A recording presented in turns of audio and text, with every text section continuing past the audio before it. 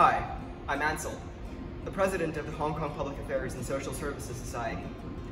We are a group dedicated to raising awareness of social and political issues in Hong Kong, as well as the wider Asia-Pacific region. Hong Kong Pass is also a network across UK universities that serves to strengthen Hong Kong student ties to events back home. Hi, my name is Myra and I am the Public Affairs Rep for Hong Kong Pass in the coming year.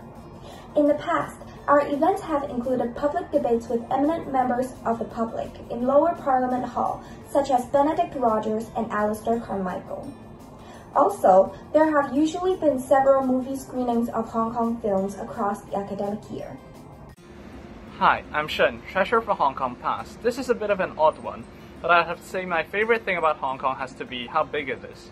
I mean, it's a small place, but you can always find something new and interesting. This year, we're particularly focusing on initiating a newsletter that will include a variety of text types such as opinion columns, articles, creative writings, and even photographs on Hong Kong issues. This is the perfect channel to express any views you may have on Hong Kong, and we can't wait to see your submissions. Uh, hey guys, uh, I'm Adam. Uh, I'll be your publicity officer for the next academic year. Uh, whether you call Hong Kong home or hail from any other part of the world, if you want to get involved, um, you can gain access to events for the entire year for only £3 on the Union website. Uh, if you have any questions whatsoever or just want to chat, we can be reached on Instagram at St A um, HKPass. Uh, we look forward to meeting you all.